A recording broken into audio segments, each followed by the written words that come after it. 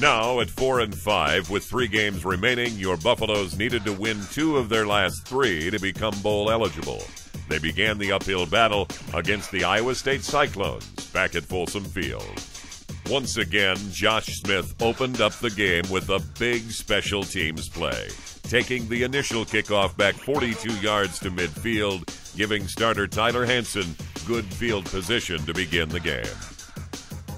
The running game worked early, with Hansen keeping the ball three times on the drive for healthy pickups, including this nine yard rush off the left side on fourth and three to gain the first down. But Jameson Davis's 38 yard field goal attempt went wide left, and the Buffs turned the ball over to ISU just outside the red zone. The Cyclones made their field goal attempt and led 3 0 midway through the first quarter. Cha'pelle Brown continued to play strong defense in the secondary and limit the Iowa State passing attack. Smith added another long return, this time a punt return for 25 yards to the ISU 32.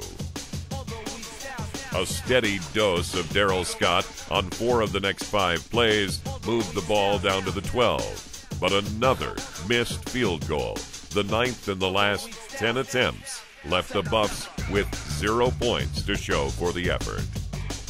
Senior Brad Jones would end the quarter with a one yard tackle for loss, something Ryan Walters would do just a little better on the next play.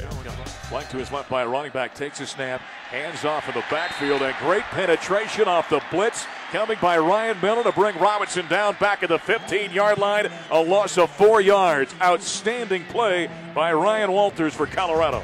Cornerback Jimmy Smith and the defense would continue to hold the Cyclones to only a 3 0 lead in the second quarter.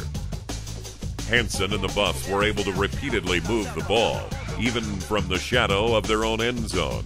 This 26 yard throw and catch to Patrick Williams was big on third and 10, as was this 11 yard run on first down to get CU to midfield.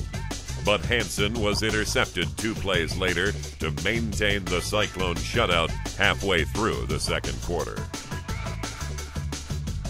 Walters was almost able to answer the turnover on the next drive off the deflection of Gardner McKay as he narrowly missed a terrific pick. Iowa State kept the ball and would eventually score on a one yard rush to give them a 10 0 advantage at halftime. Shaun Mohler and Brad Jones would combine to stop the Cyclones on their first possession of the second half, giving the ball back to the offense and to freshman Darrell Scott. Scott again gets the call, has a bit of a seam off the right side, 50 45 yard line up the sideline, 35 30, being chased by Smith, hit around the ankles at the 20 yard line, and they roll out of bounds inside the 20 near the 18 yard line. A big hole right side, and Darrell Scott, five star, down the sideline for a gain of 37 yards and a first down for Colorado. Scott's 37 yarder down the sideline inspired the Buffs and Cody Hawkins who took over for Hansen coming out of the locker room in the third quarter. On fourth down from the four yard line, a field goal attempt was not even an option.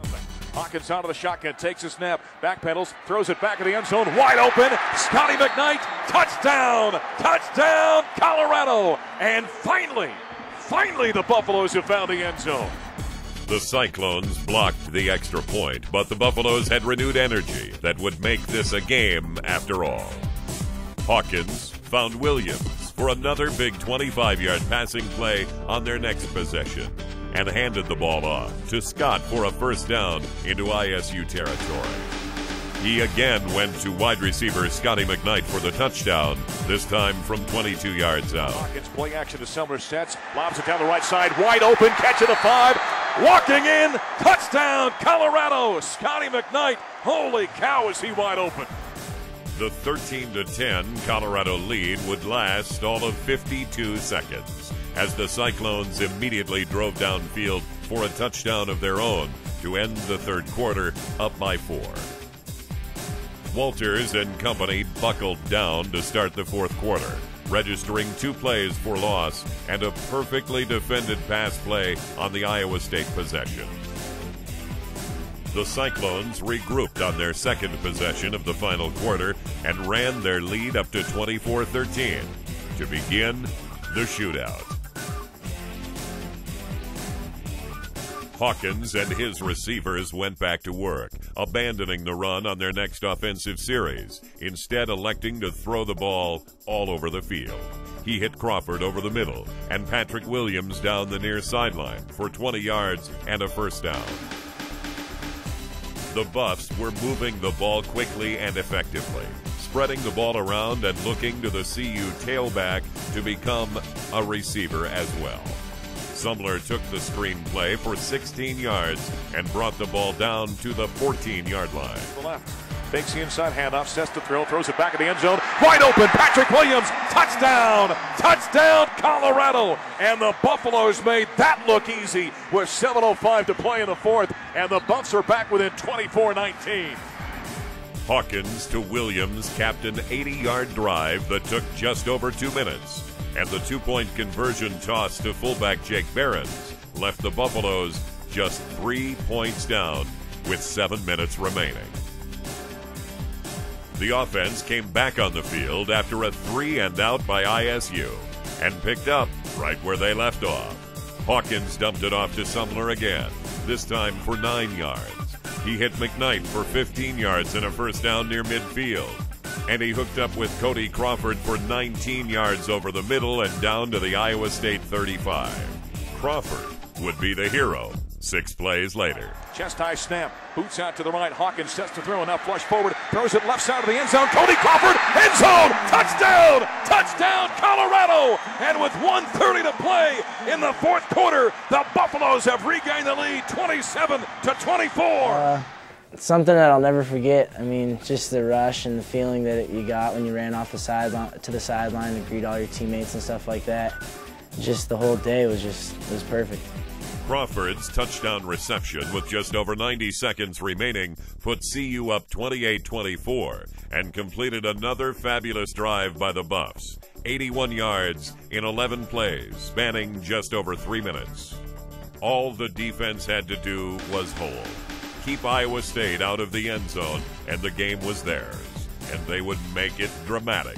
ISU quarterback Austen Arnaud picked his way through the Buffaloes a little bit at a time, getting the ball down to the one yard line with enough time on the clock to run one more play. Ball comes down to one play. Arnaud out of the shotgun with three seconds remaining. Takes a snap, option right, pitches to Robinson. He is swarmed under at the three yard line. Clock reads zero. Colorado wins. Colorado wins. Tackle made it to three. 28 24. And the Buffaloes win game number five of the season and keep their postseason hopes alive. Jimmy Smith and DJ Dyke stopped the Cyclone option for a two yard loss and secured victory for Colorado, who earned the win with a very strong second half. It was Iowa State's eighth straight loss as they surrendered 422 yards of total offense to the Buffs. Cody Hawkins came in for the last two quarters and put up four touchdowns and 226 yards passing to lead his team to a four point win. And more importantly, one victory closer to bowl eligibility.